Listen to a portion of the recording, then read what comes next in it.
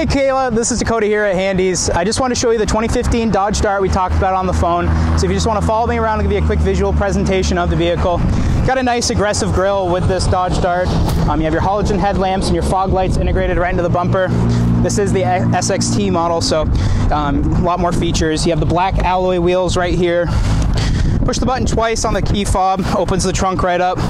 Sorry, not a lot of room right here, but if you take a look, lots of storage space in the back. As you know, you do have one of these. Um, you probably know more about these than I do, but I'm still gonna show you around. You have the black cloth interior with the white stitching. Very clean and lots of room for any backseat passengers.